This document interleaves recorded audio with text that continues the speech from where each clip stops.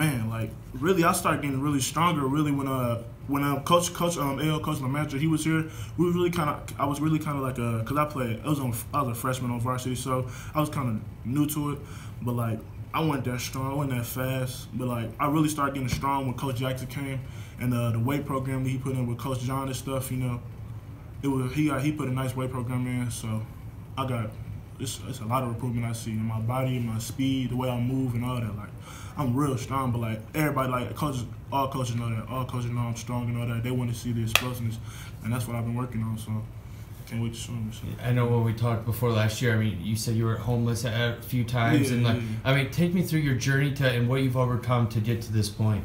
man, it's, it's really it's really a blessing to be honest with you. It's a blessing, man, because like 'cause I really wasn't supposed to be here. You know, we was, I was homeless a few times. You know, moving from place to place.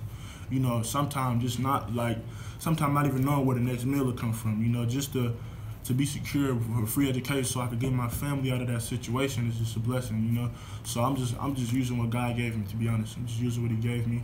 You know, my athletic abilities and just staying prayed up and blessed.